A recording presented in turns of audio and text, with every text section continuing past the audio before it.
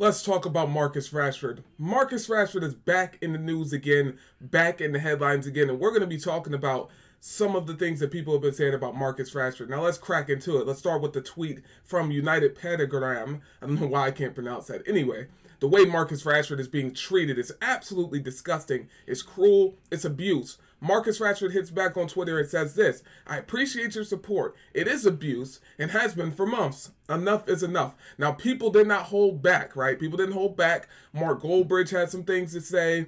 Um, a lot of journalists had some things to say. We're going to be talking about that in this video right here. So, yeah, let's crack into it. So, first things first, roll the Mark Goldbridge clip. I might shock you here. I've got a lot to say on it, but I actually agree with Rashford on the abuse. What's happened to him? Is, is this the real Goldbridge or is it AI that's been told to be pro Rashford? It's the real one. Look, it does hurt in life, not everything is red and green, it's everything in between. And sometimes abuse is happening to Marcus Rashford. The problem here is criticism is not abuse. Saying you want to drop him, saying you want to sell him, it's not abuse. To call somebody out for their performances, say they look like they can't be asked, say that they're overpaid, say that they want to be dropped, say that you'd sell them. That's not abuse. What is abuse is saying fuck off Rashford or Rashford's faking injury, calling him Trashford and stuff like that. There's different levels of abuse there, but that is unfounded, unfair, and not right. Cursed.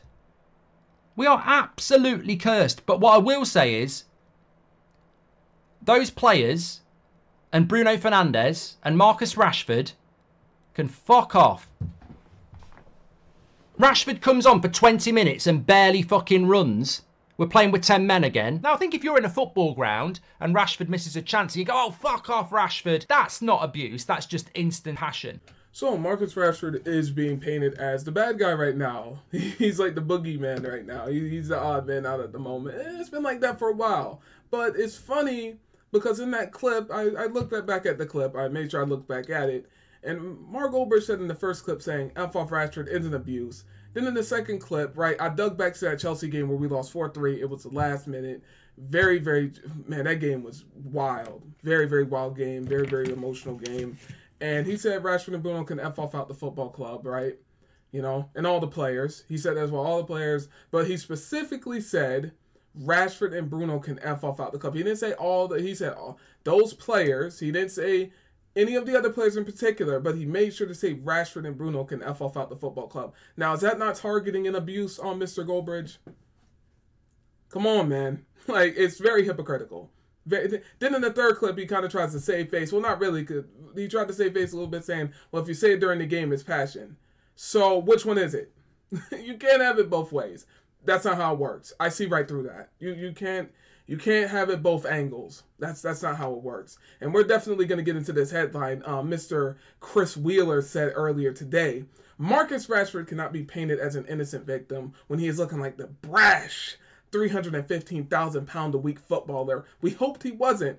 They're talking about his new contract because he got a new contract. Now he's up to 315 grand. They have been talking about him in this in this money and all this stuff for a while now. Are these other guys not on wage good wages? Is Maguire not on good wages? Luke Shaw? Are these guys on high wages? Aren't the Glazers known for giving players higher wages? So why is it, oh, Luke Shaw's on 200,000 pounds a week? I'm pretty sure Luke Shaw's contract is high. Oh, Maguire's contract is, oh, he's on whatever, 190 a week. Why is it always with Marcus Rashford with this wages thing? It's crazy.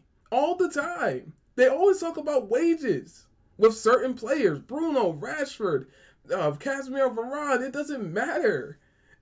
it's crazy. The pocket watching is crazy. We hoped he wasn't. Now selling him is an option for Man United. So they're gonna try to, you know, they're gonna have the things. It's like, oh, he's gonna end up leaving. He's gonna go to PSG, this, that, and the third. I don't think he's gonna leave, but there's a possibility he's gonna leave. So we're gonna be stuck with players like Maguire, Luke Shaw, Jonny Evans, um, whoever else, and we're gonna get rid of Rashford, Bruno, Casemiro, Varane. So th- this is the route we're going. It's it's crazy, man. I, it, this this club is a circus. It's a circus. It's a, it's a comedy circus. It really really is. You got people contradicting themselves. You got people talking about Rashford being on 315,000 pounds a week. The pocket watching is crazy. It's crazy. The pocket watching is crazy, man. It's absolutely crazy. Marcus Rashford op- offers worrying update as he, as he speaks out over months of abuse. Marcus Rashford hits out at months of abuse in late night posts. Manchester United manager Erik Ten Hag reacts to Marcus Rashford. Now, this is what Ten Hag had to say.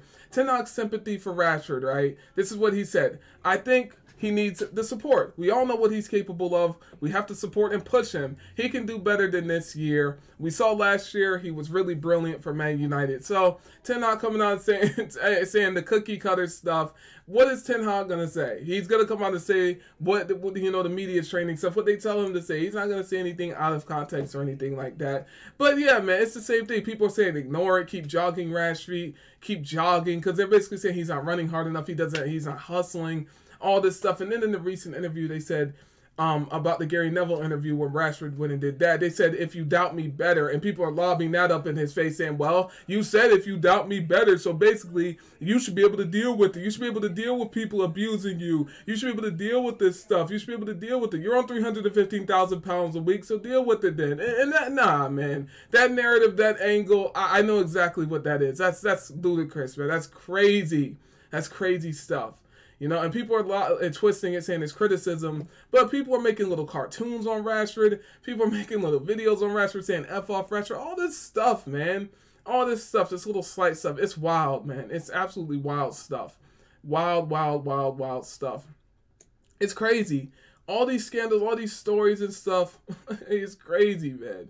It's absolutely crazy stuff, man. But I want you guys to let me know in the comment section what you guys think, man. I would love to hear your input, love to hear your feedback about this whole Marcus Rashford tweet situation. And yeah, it's been with you guys. Hope you guys all have a good Friday afternoon, and I'm out. Peace out.